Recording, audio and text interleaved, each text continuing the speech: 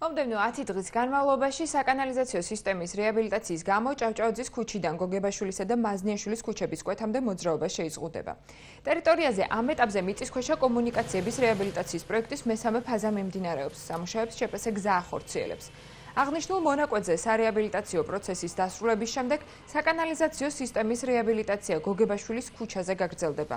აღნიშნულ მონაკვეთზე საავტომობილო მოძრაობა დაახლოებით 1 თვის განმავლობაში ცალხმრივი იქნება.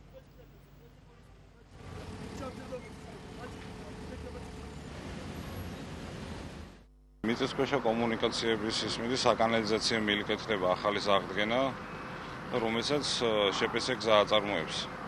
ცენტრალური მაგისტრალის ჩართვა ხდება და ასე რომ რამოდენიმე დღის განმავლობაში შეფერხებები იქნება ალბათ მოძრაობას და სავარაუდოდ 10 დღის განმავლობაში ალბათ გავალთ რა მონაკვეთს. მობილიზებული ვართ და ყველა მუშაობთ წვიმა და არია, მუშაობთ რომ მაქსიმალურად ხალხს მისცეთ საშუალება რომ თავისუფლად იმოძრაონ.